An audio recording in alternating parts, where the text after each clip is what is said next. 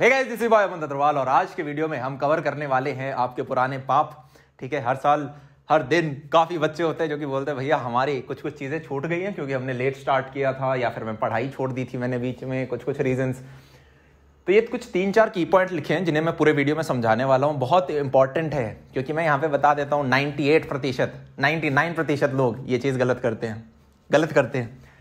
सबसे पहला यार, जब भी बैकलॉग है ना बैकलॉग क्या? कुछ चीज़ आपका बच गया जिसे कंप्लीट करना है? पहले जो प्रेजेंट में चल रहा है ना, उसकी ट्रैक पकड़ने की कोशिश करो कि क्लास में जो आपको पढ़ाया जा रहा है, क्या आप वो चीज़ कर पा रहे हो? अब आप बोलोगे, नहीं भैया क्लास में जो चीज़ पढ़ाई जा रही है ना, उसके लिए पहले मेरे को कुछ प्री रिक्विजिट्स चाहिए। फलाना और फलाना चैप्टर आना चाहिए, तभी ये वाला चैप्टर समझ में आएगा। काफ़ी बार ऐसे फंसते हैं हम। तो हम पहले उन चैप्टर्स को कवर करेंगे, उन चैप्टर्स के रिकॉर्डेड वीडियो ढूंढेंगे उन चैप्टर के नोट्स वगैरह देखेंगे, उसके बाद हमें जो प्रेजेंट में पढ़ाया जा रहा है, वहाँ पे जंप करेंगे। भैया बचे हुए बैकलॉग का क्या करेंगे? अभी बताता हूँ थोड़ी देर में। फिर, जो प्रेजेंट में आपको पढ़ाया जा रहा है, उसका तीन बार रिवीजन ज़रूरी है। तीन बार रिवीजन क्यों ज़रूरी है? मैं ऐसे ऐसे बच्चों को जानता हूँ यार, जो कि पता है, आजकल ऐसा कुछ करते हैं कि यार उनकी, मान लो चार घंटे की तो नॉर्मल क्लास चल रही है, जो कि रोज लाइव हो रही है। साथ में बैकलॉग्स में भी वो दो से तीन घंटे अपने दिन के दे रहे हैं कि यार पुराना बैकलॉग कवर हो जाए। प्लस उनका स्कूल हो जाता है पाँच से छह घंटे का। जनाब सेल्फ स्टडी कहाँ हुई? सेल्फ स्टडी होती नहीं। तो होगा क्या? एक ऐसा पॉइंट आएगा जब शायद आपका बैकलॉग कवर हो भी जाएगा। और शायद आप लाइव में भी सारे नोट्स बना रहे हो। पर क्योंकि आपने रिवाइज नहीं किया, तीन महीने बाद आप जब आप पलट के उन्हीं चैप्टरों को देखोगे, वो अजनबी लगेंगे। और तब आपका यही बैकलॉग और बड़ा बैकलॉग बन जाएगा। क्या चीज़ समझ में आ रही है? बारहवीं में जितने भी बच्चे जाते हैं, और कॉम्पिटेटिव एग्ज़ाम्स का प्रिपेयर कर रहे हैं, उनका इलेवेंथ का बैकलॉग होता है मेजोरिटी का। तो हमने कहा, हम ये गलती नहीं करेंगे। क्यों? क्योंकि हम समझदार व्यक्ति हैं। तो मैंने कहा, ओके, इधर इधर आते हैं। एक छोटी सी चीज़ है, जो कि मैं हमेशा बच्चों के साथ शेयर करता हूँ। हम हर दिन अपना टाइम टेबल बनाते हैं, यहाँ से हम कुछ सीखने की कोशिश करेंगे। मान लो ये आपकी एक्सपेक्टेशन है, सात बजे उठूँगा, फलाना दो घंटे पढ़ूँगा, फिर डेढ़ घंटे पढ़ूँगा। रियलिटी कुछ और होती है। मान लो रियलिटी में आप उठे ही नौ बजे। कहाँ सात बजे पढ़ाई स्टार्ट करनी थी? कहाँ नौ बजे उठे? और नौ बजे उठ के ब्रेकफास्ट वगैरह करने में एक घंटा लग गया और आप दस बजे से पढ़ना स्टार्ट करते हो। आप क्या करते हो? दस बजे से पढ़ना स्टार्ट करते हो। तो बच्चे क्या करते हैं? बच्चे सोचते हैं अच्छा सबसे पहले फिजिक्स पढ़नी थी तो अब मैं क्या करूँगा? दस से बारह फिजिक्स पढ़ लेता हूँ। ये सबसे गलत चीज़ है, ये नहीं करनी। जब भी आपका कोई पीछे वाली चीज़ छूट जाती है, आप क्या करोगे? अच्छा दस बजे तक क्या क्या करना था? ये करना था, इसके मारो काटा। ये आज तो नहीं हो सकती। तो क्या करना है भैया? हम बोलेंगे, क्या दस बजे रखे हैं? ओके, दस बजे वाले में तो ये बात है। यहाँ से कंटिन्यू करूँगा अब टाइम टेबल क्या फील आई? इससे क्या होता है यार, आपने जैसे ही 10 से 12 यहाँ पे, अगर आप फिजिक्स पढ़ोगे ना, ये 12 बजे खत्म ही नहीं होगी। क्यों? क्योंकि आपने ऑलरेडी अपना कमिटमेंट तोड़ दिया है। कमिटमेंट तोड़ दिया, बारह, दस से बारह वाला कमिटमेंट भी तोड़ोगे। ये फिजिक्स दस से बारह नहीं, दस से एक तक चलेगी। फिर सिमिलरली अगली वाली चीज़ दो से पाँच बजे तक चलेगी। और पूरे दिन का शेड्यूल हमारा ऐसे खराब हो जाता है। तो अगर कोई चीज़ छूटती है तो उस चीज़ के काटा मार देंगे।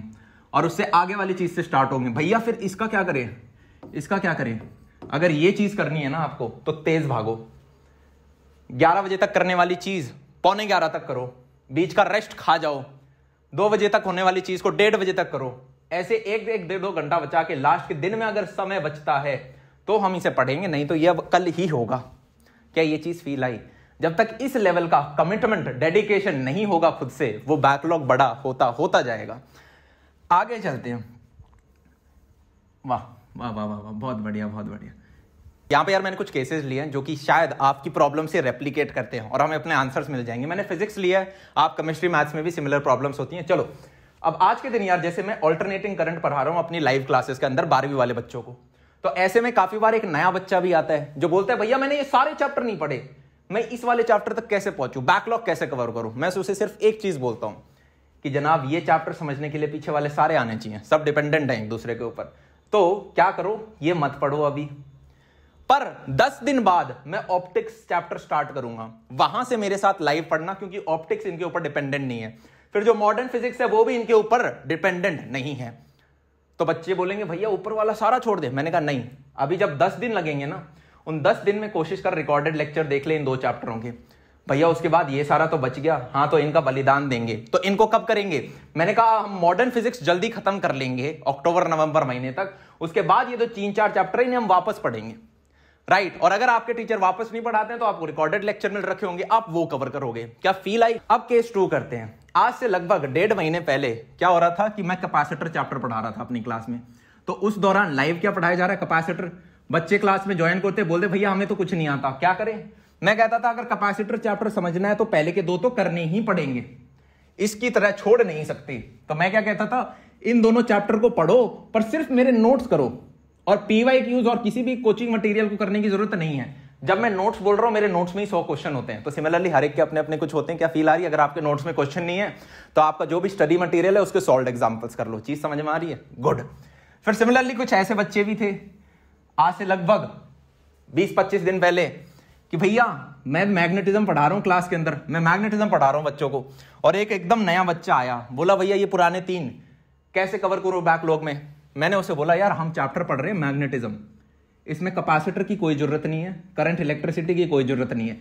ऐसा कर, सिर्फ़ इलेक्ट्रोस्टार्ट पढ़ ले, ठीक है? और वो भी मेरे सिर्फ़ नोट से कर ले पीवाई क्यू एक बार रहने दे। और इस चैप्टर पे जितनी जल्दी हो सके, दो से तीन दिन के लाइव क्लासेस में जंप मार। क्या चीज़ समझ में आ रही है हमें? गुड ठीक है? ग्रेट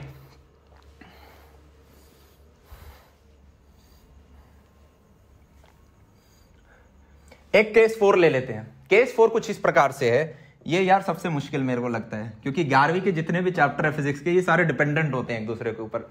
तो मैं एक बार एनएलएम पढ़ा रहा था। लाइव क्लास में क्या चल रहा है? एनएलएम नया बच्चा आया, भैया, ये तीन चैप्टर्स कैसे कवर करूँ? मैंने कहा, यार एनएलएम अगर समझना है ना तो मेरा सिर्फ़ वेक्टर्स पढ़ ले। काइनामेटिक्स और टू मोशन हम छोड़ सकते हैं। भैया, पर एनएलएम में इनकी इक्वेशन यूज़ होती है, मैंने कहा। काइनामेटिक्स की सिर्फ़ लेक्चर नंबर वन देख के आ जा, जहाँ पे हम बेसिक इक्वेशन वगैरह सिखा देते। दो घंटे की क्लास उसके बाद सीधा हम एनएलएम के लाइव में जंप कर और यहाँ से बैकलॉग मत बनने दे। राइट तो बच्चा क्या कहता है? अच्छा ठीक है, इसमें मेरे दो दिन लगेंगे, इसमें मेरे दो घंटे लगेंगे। तीन दिन बाद वो लाइव में मेरे को ज्वाइन कर लेता है। सिमिलरली आपके सबके टीचर भी यार लाइव पढ़ा रहे कहीं ना कहीं किधर तो पढ़ी रहे हो। तो बैकलॉग हम ऐसे कवर कर सकते हैं। अब यहाँ पे कुछ प्रो टिप्स हैं यार, जो आपको ध्यान रखनी है।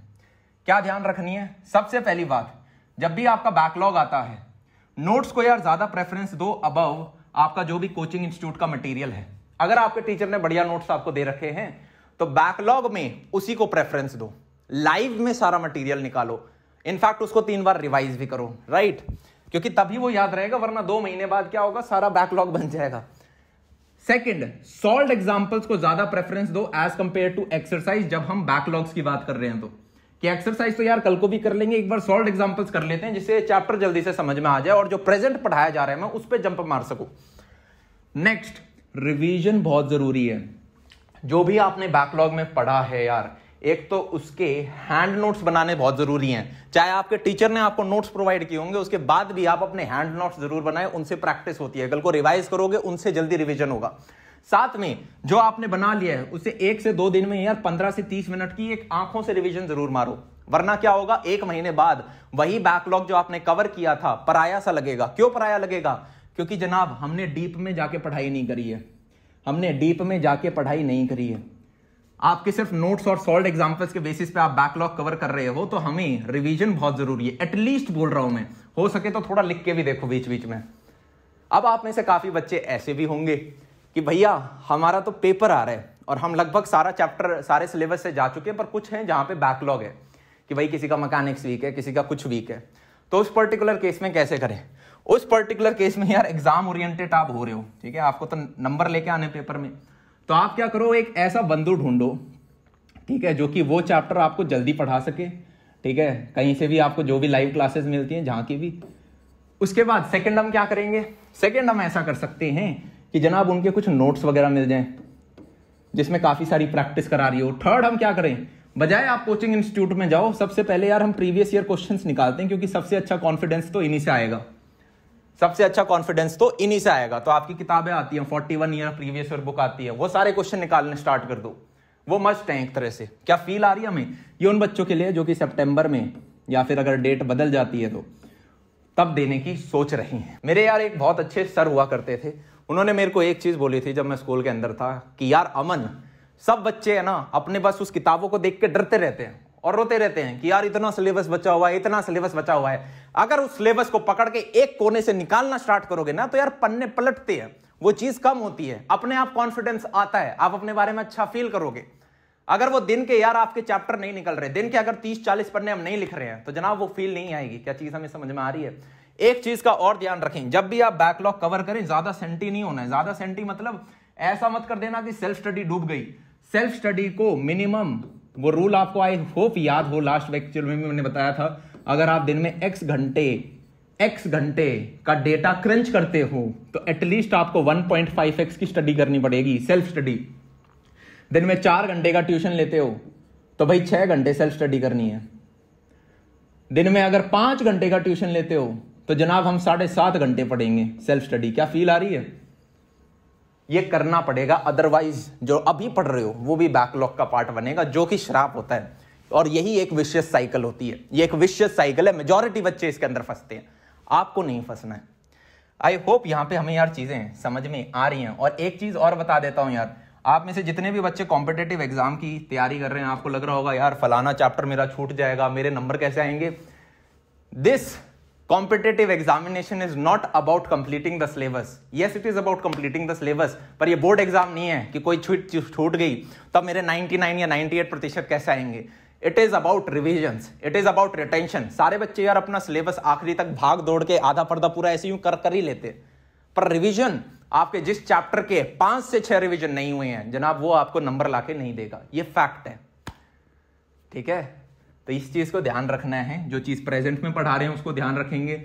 जल्दी से जल्दी कोशिश करेंगे कि प्रेजेंट वाले पे जंप कर सकें, जो पुराना उसके लिए चाहिए वो चीज़ करके। अगर आप टाइम टेबल बना रहे हो और कोई चीज़ छूट गई है तो जनाब हम उसके काटा लगा देंगे और बचे हुए दिन की चीज़ पे ही ध्यान देंगे। और मैंने क्या बताया, आपका सेल्फ स्टडी जो टाइम है, वो एटलीस्ट 1.5 एक्स टाइम्स होना चाहिए। आपका जो भी ट्यूशन टाइम है, उसका। और उस किताब को लेके स्टार्ट कर दो, पढ़ना, ये चीज़ें खत्म हो जाएँगी। यही इस बैकलॉग वीडियो की समरी थी। आज का वीडियो समाप्त करते हैं। तब तक के लिए see ya have a good day जहाँ भी पढ़ रहे हो यार, दबा के पढ़ो। और ऐसा पढ़ो कि यार ये एक दो साल मेरे को मिला है। इसके बाद तो कॉलेज चले जाओगे। हमें क्या लगता है यार, ग्यारहवीं, बारहवीं है, बहुत टफ टाइम है और सही में टफ टाइम होता है। हालत टाइट हो जाती है। मैं भी उसी में से गया था। आपके बड़े भैया भी उसी में से गए थे। पर वर्थ इट है। वर्थ इट ठीक है? तो जितना है, डालो। क्योंकि कल को अगर आज हिम्मत नहीं डालोगे ना यार, ये चीज़ गिल्टी करेगी आपको। आप कॉलेज के सेकेंड ईयर में बैठे होगे और आपको लगा लग रहेगा कि यार, काश मैंने पढ़ लिया होता। आप शायद आज से छह साल बाद जॉब कर रहे होगे और आपको फील आ रही होगी, काश ग्यारहवीं, बारहवीं में पढ़ लिया होता। और फिर जब आप किसी ग्यारहवीं, बारहवीं वाले बच्चों को देखोगे ना तो आप उसे जाके बोलोगे, यार, पढ़ लियो। बेल्ला मत घूमियो। तो हमें वो व्यक्ति नहीं बनना है। हम है ना, उखाड़ेंगे। इसी के साथ आज का वीडियो समाप्त करते हैं। तब तक के लिए see ya have a good day bye take care